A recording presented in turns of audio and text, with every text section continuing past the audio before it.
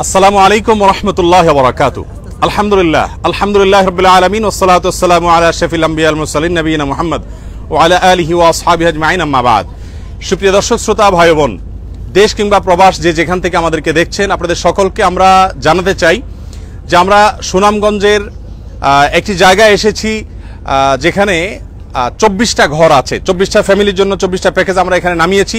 পাশাপাশি এখানে একটা মাদ্রাসা আছে, মাদ্রাসা শিক্ষার্থীদের জন্য। আমরা ত্রাণ নামিয়েছি। সেই সাথে আমরা বিগত লাইভে একটা কথা বলতে আপনাদেরকে আমরা মিস করেছি। তা হলো, এবারের ত্রাণে আমরা পর্যাপ্ত পরিমাণ গরুর খাবারও বিতরণ করছি। কারণ আমরা জানি যে বন্যায় মানুষের খাবার সবাই দিলেও পশুগুলোর খাবার আসলে কেউ দিচ্ছে না। আর চতুর্দিকে শুধু অথই পানি। এই যেদিকে চোখ যায় শুধু অথই পানি। যার কারণে পশুর খাবারগুলো পানির নিচে, অর্থাৎ ঘাসও পানির তলে। আর কিনে যে গরুকে খাওয়াবে মানুষ, সেই সুযোগও নেই, যেমন আর্থিক সংকট, তেমনিভাবে জিনিসের সংকট, বন্যার কারণে। তো আলহামদুলিল্লাহ, আমরা চেষ্টা করেছি যে সাধারণ ত্রাণের পাশাপাশি এই যে ভুসি, একটা, এক বস্তা করে ভুসি গরু মালিকদেরকে দেওয়ার চেষ্টা করছি। আমার এই ভাই, উনি এই গরুগুলোর মালিক, ওনাকে ভুসি দেওয়া হচ্ছে, এদিকে এক বোন আছেন গরুর মালিক। তো ওনার জন্য আমরা এই যে অলরেডি ভুসির বস্তা নামানো হয়েছে বস্তা বস্তা ভুসিটা একটু একটু এদিকে এদিকে পার করে দেন। আমরা জানিয়ে রাখতে চাই আপনাদেরকে, প্রিয় দর্শক, আমাদের সাথে দুটি ছোট জাহাজ দেখতে পাচ্ছেন আপনারা। একটাতে হলো সাধারণ ত্রাণ, যেখানে চাল, ডাল ইত্যাদি আছে, আর পাশে যেটা কার্গো জাহাজের মতো দেখতে পাচ্ছেন, সেখানে আপনার সাধারণ ত্রাণ কিছু আছে, আর সেখানে মূলত বড় এক ট্রাক ভুসি আছে। এক ট্রাক ভুসি দিয়ে আমরা গোটা সুনামগঞ্জ গোটা সিলেট জেলা কাভার করতে পারব না। কিন্তু আমরা যেখানে যাচ্ছি, মানুষের পাশাপাশি গরু আছে কিনা জিজ্ঞেস করছি। যার গরু আছে, আমরা তাকে সাধারণ ত্রাণ দিচ্ছি, পাশাপাশি একটু গরুর খাবারও দেওয়ার চেষ্টা করছি। আমার অবাক লেগেছে, এই বস্তাটি পড়ার সাথে সাথে গরু এখান থেকে শোকা শুরু করেছে। সে বুঝ- বুঝতে পেরেছে তার খাবার এসেছে এবং খাওয়া শুরু করেছে। এতক্ষণ সে এখানে খেয়েছে আলহামদুলিল্লাহ। তো এটি একটি তৃপ্তির জায়গা আসলে। এবং এই বিষয়টি আমার কাছে খুব ভালো লেগেছে যে পশুর জন্য কিছু করতে পেরেছি। যদিও পর্যাপ্ত পরিমাণ করা হয়তো সম্ভব হয়নি কিন্তু আমরা শিক্ষা গ্রহণ করেছি পরবর্তীতে আরও আমরা ব্যাপকভাবে করতে পারব ইনশাআল্লাহ। আহ, এটা যে গরুর খাবার আমার ব্যক্তিগতভাবে খুব একটা জানাও ছিল না কিন্তু আমি জানতাম যে ভুসি খায় এরপরে আমরা ভুসি অ্যারেঞ্জ করেছি কিন্তু বস্তা থেকে মাসাল্লাহ শোকা শুরু করেছে গরু। এরপরে আলহামদুলিল্লাহ বস্তা খুলে ইতোমধ্যে গরু মালিক খাইয়েছেন আমাদের মাওলানা সাহেব স্থানীয় গণ্যমান্য আলমেদিন উনি খাওয়াচ্ছেন মাওলানা আলহামদুলিল্লাহ। তো আমরা আপনাদের কাছে আবেদন করব যে শুধুমাত্র এই বন্যা নয়, যে কোনো বিপদে বাংলাদেশের যে কোনো জেলার মানুষ পড়ুক, আপনি আপনার সাধ্য অনুযায়ী মানুষের পাশে দাঁড়াবার চেষ্টা করেন। যেই ব্যক্তি যে প্রতিষ্ঠানকে আপনার বিশ্বস্ত মনে হয়, তাদের সাথে আপনি কাজ করুন। আমরা তো খুব ক্ষুদ্র পরিসরে করছি, বাংলাদেশে আরও অনেক বড় পরিসরে অনেকেই কাজ করছেন। আল্লাহ রব্বুল আলমিন সবার কাজগুলো কবুল করুন। আমাদের সকল প্রচেষ্টা আল্লাহ রব্বুল আলমিন কবুল করুন।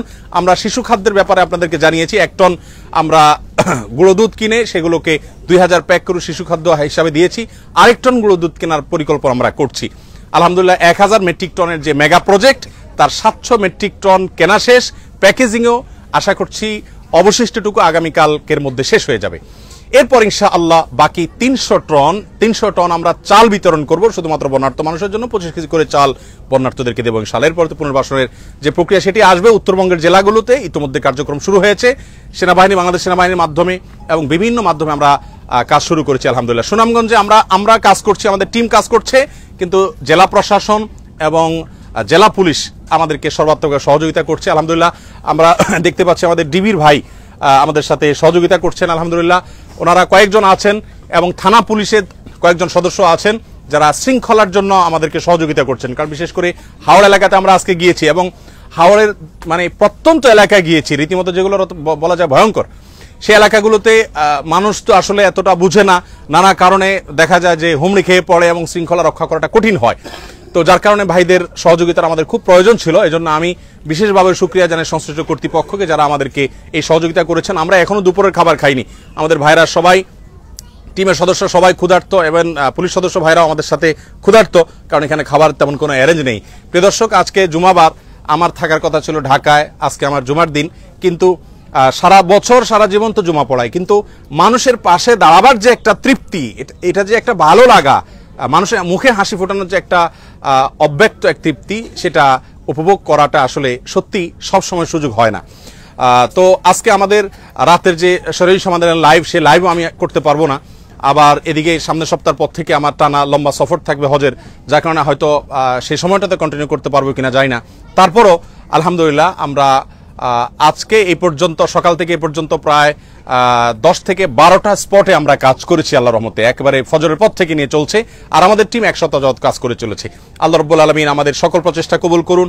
আমাদের টিম নেত্রকোনা, কুড়িগ্রাম এবং বগুড়ার সারিয়াকান্দি, এই সমস্ত জায়গাগুলোতে কাজ শুরু করেছে। সিলেটে কাজ শুরু হয়েছে। সিলেট তো আগেই কাজ শুরু হয়েছে, নতুন করে আবার সে সিলেটে শুরু হয়েছে। মৌলভীবাজারে আগামীকাল থেকে কাজ শুরু হবে ইনশাআল্লাহ। আল্লাহ তালা আমাদেরকে যেন সুচারুরূপে সুন্দরভাবে, নিষ্ঠার সাথে আপনাদের আমানতগুলোকে রক্ষা করার তৌফিক দান করেন। অক্লান্ত পরিশ্রম আমাদের ভাইরা করে যাচ্ছেন। আমাকে আপনারা সবাই সোশ্যাল মিডিয়াতে বাহবা দিচ্ছেন। কিন্তু নেপথ্যের যে নায়কগুলো, যাদেরকে আপনারা দেখছেন না, যারা মাটির নিচের ইট, সে ভাইগুলো কিন্তু খেটে শেষ হয়ে যাচ্ছে এবং তারা সকাল থেকে নিয়ে রাত দুইটা, তিনটা পর্যন্ত অবস্থা টানছে। এমন এমন ভাইরা যারা নিজ নিজ অবস্থানে অনেক বড় বড় চাকরি করেন, অনেক বড় বড় পদে অধিষ্ঠিত আছেন, অনেক বড় বড় ব্যবসায়ী আছেন, কিন্তু আলহামদুলিল্লাহ তারা কাজ করে যাচ্ছেন। আমি আবার বলছি, আমাদের বাইরে আরও বহু প্রতিষ্ঠান কাজ করছে। আল্লাহ তালা সবার সবার সমস্ত প্রচেষ্টা, অ্যাপ্রোচ সবগুলোকে আল্লাহ তালা কবুল করুন। জেজাকুল্লাহ খের আসসালামু আলাইকুম রহমতুল্লাহ বরাকাতু